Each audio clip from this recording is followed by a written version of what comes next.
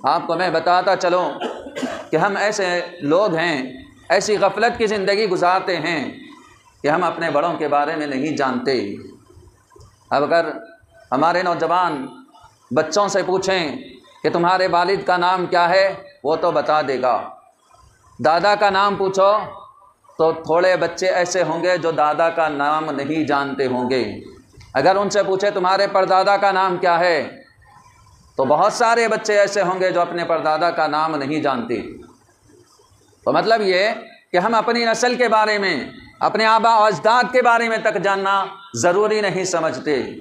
ये हमारी हालत हो चुकी है। अहले इस्लाम के बारे में, मुसलमानों की तारीख़ के बारे में जानने, उसको समझने की कहाँ हमें फुर्सत है? खुद हम अपने बारे में नहीं जानते कि हमारे बाप दादा कहाँ से आए थे, उनका नाम क्या था, वो कहाँ के रहने वाले थे। इसकी कोई खबर, कोई पता नहीं है। बहुत सारे हमारे मुसलमान ऐसी गफलत की ज़िंदगी गुजार रहे हैं। जो कौम अपनी तारीख़ को नहीं जानती तो फिर वो कैसे तरक्की कर सकती है? वो तो गुमराही होकर रहेगी और तबाह व बर्बाद होकर ही रहेगी। क्योंकि तारीख़ जो जानता है तो वो तारीख़ से सबक हासिल करता है कि पिछले ज़माने में जो गलतियाँ हमसे हुई थी, वो गलती हम फिर नहीं दोहराएँगे। उसके मुताबिक वो अमल करता है तो वह आगे की ज़िंदगी कामयाब गुजार सकता है। बस ये कि हमें अपने बारे में, अपने दीन के बारे में जानना बेहद लाजमी और ज़रूरी है। जैसा कि पिछली नशस्त में हमने जाना था कि आमीन, आहिस्ता कहना चाहिए नमाज़ की हालत में। आज वो हदीसें बयान करने की सादत हासिल करूँगा, जिसके अंदर रसूल मकबूल सल्लल्लाहु अलैहि वसल्लम के नमाज़ का तरीक़ा, जिसमें तकबीर तहरीमा के वक्त सिर्फ़ एक ही मरतबा रफ़ यदैन किया जाता है। बाकी नमाज़ में रफ़ यदैन नहीं है। इन अहादीस का तस्करा मैं आपके सामने करूँगा, क्योंकि यही मसलक इमाम आज़म अबू हनीफ़ा है। इमाम आज़म अबू हनीफ़ा यही बयान फरमाते हैं। तो फिर यहाँ पर सवाल ये होता है कि जो लोग रफ़ यदैन करते हैं तकबीर तहरीमा के अलावा में तो फिर उनके पास क्या दलील है? किस बुनियाद पर वो कहते हैं कि रफ़ यदैन करना चाहिए? वो भी जानना हमारे लिए ज़रूरी है कि कौन सी बात किस हद तक दुरुस्त है और कराम ने उसके बारे में क्या फरमाया है। तो फिर हम सही अमल कर सकते हैं। और दूसरी बात, जो हमारे सामने गलत तावीलें पेश करता है, गलत बातें हमारे सामने रखता है तो हम उसका जवाब मुदल अंदाज में, दलील के ज़रिए दे सकते हैं। ये हमें, हमारे लिए लाजमी और ज़रूरी है। तो सबसे पहले तो रफ़ यदैन किसे कहते हैं वो समझ लें। रफ़ा के माने हैं उठाना। रफ़ के माने उठाना। यद से यदैन। यद के माने हाथ। यदैन, दोनों हाथ। दोनों हाथ उठाना। रफ़ यदैन के माने दोनों हाथ उठाना। नबी अकरम सल्लल्लाहु अलैहि वसल्लम का इशाद मुबारक, जैसा कि तकबीर तहरीमा के वक्त आप सल्लल्लाहु अलैहि वसल्लम अपने हाथ कानों तक उठाते और बांधते।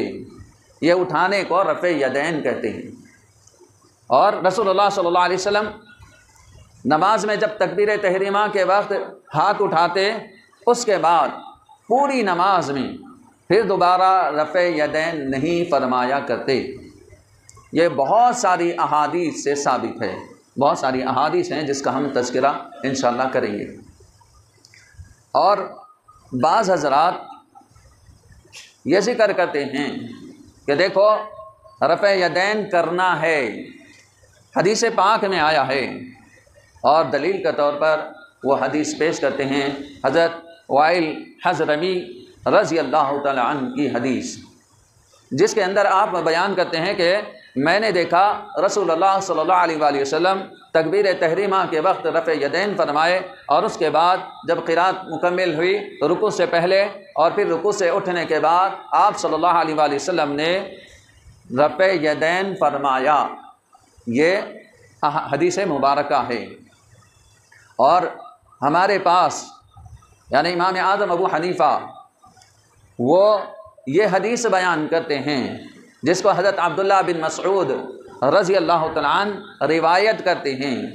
फरमाते हैं कि हज़रत अब्दुल्ला बिन मसूद रज़ी तलान क्या मैं तुम्हें वो नमाज़ न पढ़ाऊँ, जैसे रसूलुल्लाह सल्लल्लाहु अलैहि वसल्लम नमाज़ अदा किया करते, और फिर उसके बाद आपने नमाज़ पढ़ाई और फरमा उसके अंदर सिवाय तकबीर तहरीमा के आपने पूरी नमाज़ में रफ़ यदैन नहीं फरमाया। अब यहाँ पर कराम ने बयान किया मुहदसिन इज़ाम ने बयान किया।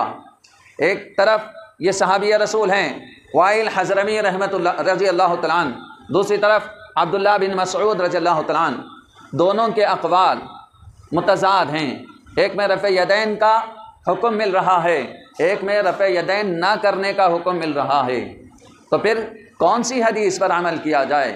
तो बताया गया कि हज़रत अब्दुल्ला बिन मसूद रज़ी अल्लाह तन की हदीस को तरजीह दी जाएगी। उसके कई वजूहत बयान किए गए। उनमें से दो वजूहत ये हैं। एक ये कि हज़रत वाइल हजरमी रज़ी अल्लाह तन वह हजरमौत से रहने वाले वहाँ से उनका ताल्लुक़ था। वह वफ़्त की शक्ल में नबी अकरम सल्लल्लाहु अलैहि वसल्लम की खिदमत में हाजिर हुए थे। और आपने उस वक्त देखा था कि रसूलुल्लाह सल्लल्लाहु अलैहि वसल्लम नमाज़ में रफ़ यदैन फरमाए, रुकू से पहले और रुकू के बाद। और उन्होंने उसको याद कर लिया और उसी को उन्होंने ज़िक्र फरमाया। यानी वो एक मरतबा का वाक़ है। हमें उससे इनकार नहीं है। इस तरह रसूलुल्लाह सल्लल्लाहु अलैहि वसल्लम ने नमाज़ अदा फरमाई है। दूसरी तरफ़ हज़रत अब्दुल्ला बिन मसऊद रज़ी अल्लाह तु हैं। ये कौन हैं? ये वो सहाबी हैं जिनके ताल्लुक़ से अक्सर सहाबा ये समझते थे गलत फहमी में शिकार हो जाते थे कि ये शायद अहल बैत से ताल्लुक़ रखते हैं। यानी इतनी क़ुरबत थी इतना ज़्यादा नबी पाक सल्लल्लाहु अलैहि वसल्लम की सोहबत में रहा करते, सफ़र हो, हज़र हो, हर वक्त नबी पाक सल्लल्लाहु अलैहि वसल्लम की सोहबत में रहते, हमेशा उनके साथ रहते। ये हैं अब्दुल्ला बिन मसूद रजला यानी सबसे ज़्यादा, वो सहाबी से ज़्यादा समझने वाले दिन को, ज़्यादा साथ रहने वाले दिन को, वो ये अमल करते हैं और ये बताते हैं। तो इससे मालूम हुआ कि हज़रत अब्दुल्ला बिन मसूद रज़ी अल्लाह ने जो अमल किया, वही अमल सुन्नत है, सुन्नत रसूल सल्लल्लाहु अलैहि वसल्लम। अब रही बात, फिर वो जो हदीस है, रफ़ यदैन की, वो हदीस के मुताबिक कोई अमल कर रहा है तो ठीक है, वो अमल कर रहा है। फिर अब्दुल्ला बिन मसूद रज़ी अल्लाह ने क्यों तर्क फरमाया? क्या उन्होंने उनको ये खबर नहीं थी? क्या वो नहीं जानते थे कि रसूलुल्लाह सल्लल्लाहु अलैहि वसल्लम ने रफ़ यदैन किया है? तो उसका जवाब ये है एक तो ये कि आप सल्लल्लाहु अलैहि वसल्लम ने रफ़ यदैन फरमाया था, वो उस वक्त इब्तदा इस्लाम में हुक्म था रफ़ यदैन करने का तो आपने वो रफ़ यदैन किया। फिर उसके बाद वो हुक्म मनसूख हो गया तो आप सल्लल्लाहु अलैहि वसल्लम ने उस अमल को तर्क फरमा दिया। चुनाचे हज़रत अब्दुल्ला बिन मसूद तलान फरमाते हैं कि मैं एक मरतबा हजूर पाक सल्लल्लाहु अलैहि वसल्लम के साथ नमाज़ पढ़ा, जिसमें शेखैन हज़रत सैदना अबू बकर सिद्दीक़ रज़ी अल्लाह तलान हज़रत सैदना उमर फ़ारूक रज़ी अल्लाह तलान और दीगर साहबा कराम भी शरीक थे। तो मैंने देखा कि ना तो नबी अकरम सल्लल्लाहु अलैहि वसल्लम ने रफ़ यदैन फरमाया, न अबू बकर ने, न उमर रज़ी अल्लाह तहुमा ने। किसी ने भी इन तीनों बुज़ुर्ग हस्तियों में से किसी ने भी सिवाय तकबीर तहरीमा के पूरी नमाज़ में रफ़ यदैन नहीं फरमाया। तो इससे क्या मालूम हुआ? इससे यही मालूम हुआ कि रफ़ यदैन नहीं करना है। आप सल्लल्लाहु अलैहि वसल्लम ने बाद में उस अमल को तर्क फरमा दिया। चुनाचे कई अहादीस मुबारक इसके ज़िमन में हमें मिलते हैं, जिसके अंदर वजाहत के साथ हमें यह ज़िक्र मिलता है कि रफ़ यदैन सिर्फ़ एक ही मरतबा, जब हम तकबीर तहरीमा कहते हैं, उसी वक्त करना है।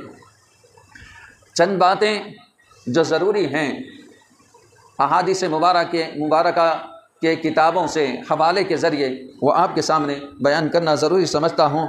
और जिसमें नबी अकरम सल्लल्लाहु वसल्लम ने तंबीह भी फरमाई, रफ़ यदैन न करने के ताल्लुक़ से, वो भी अहादीस मुबारक समात फरमा ले।